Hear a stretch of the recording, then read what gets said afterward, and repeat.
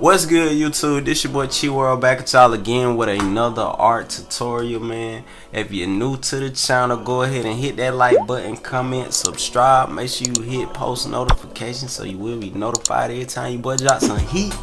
In today's video, I will be teaching you guys how to draw basically like the method I use every time I'm finna start a picture. So without further ado, let's jump right into this video. Okay the first thing I do is I set my pen pressure. You know what I'm saying? So if y'all wondering what brush I use it's no certain type of brush I use. I just set the pressure. I just come up right here click new brush click OK go to pressure and I change these two bottom numbers to three. And then I end up this little brush right here the brush y'all see me use on every video. But to get it to look like that you know what I'm saying? I press light then I press hard in the center then I come out light you know what I'm saying? So to give you that effect. But okay now that we got our brush set first thing I do is I drop the opacity I mean drop I changed the color to like a a bright pinkish color then I drop the opacity on the brush so we can start out with our sketch. You know what I'm saying?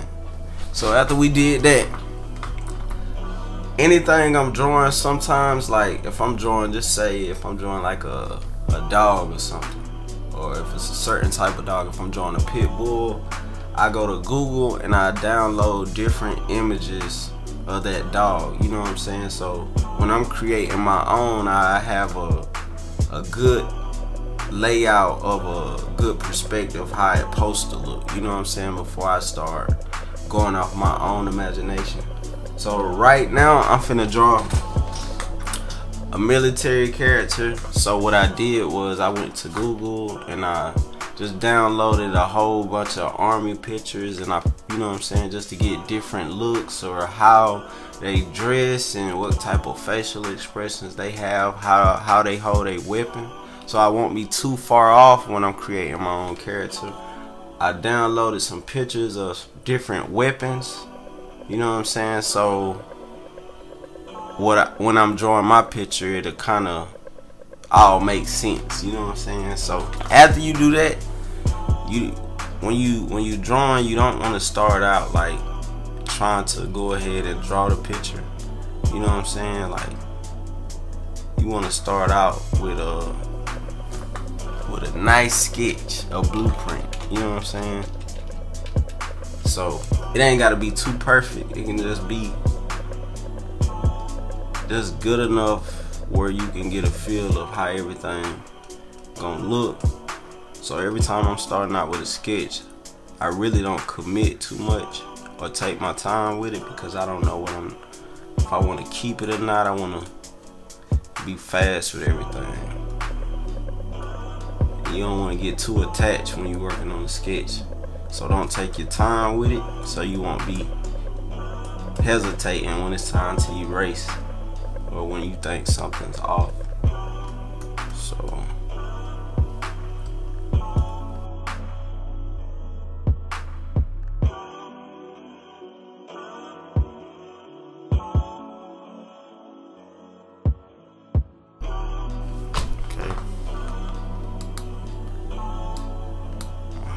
everything,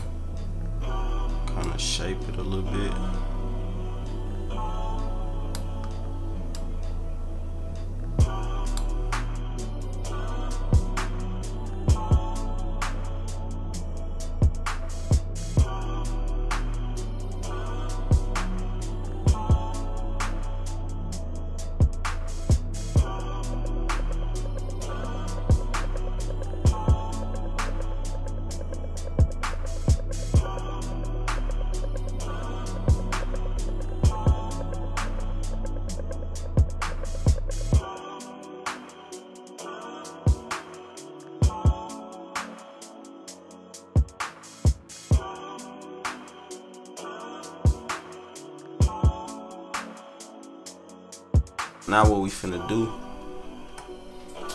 finna create another layer for our details.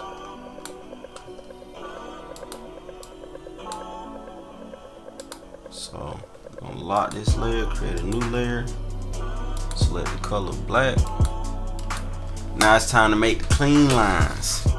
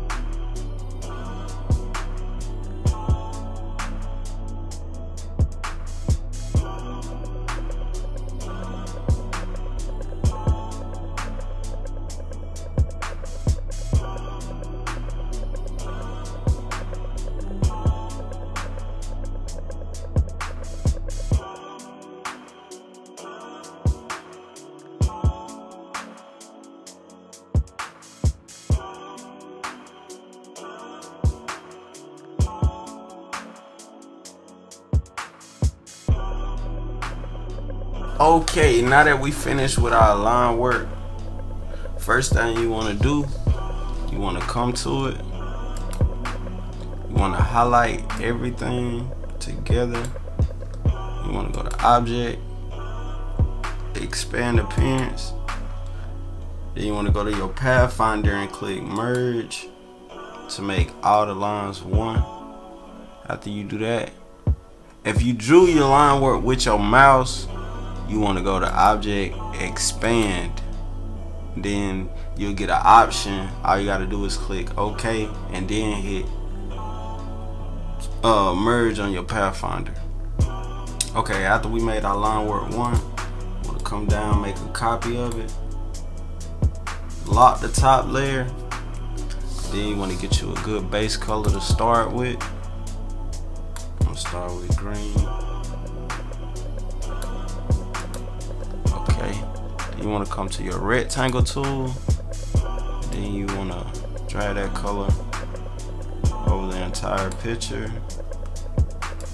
Let make this color medium okay. After you do that you want to right click the color go to arrange and send to back. And you'll know if you did this step right. If you look over here at your layers and you'll see a line work on top of the color after you do that, you want to click off of it, select, highlight everything, And then you want to click merge on your pathfinder. You want to right click onto the color, click isolate select group.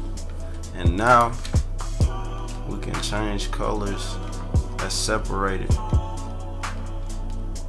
Spaces that's closed off, we can change colors. So change this to orange.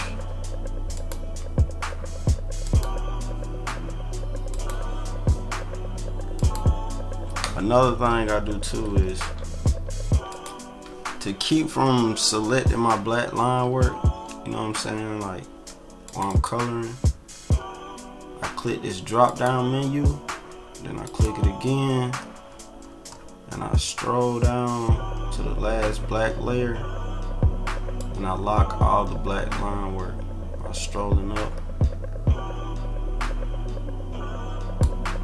Keep these top two unlocked, and then I close it. So now it only will let me select inside the, the areas. It won't let me mess with the line work. You know what I'm saying? So I don't make no mistake. So I can just go back to isolate select group. Finish making my changes.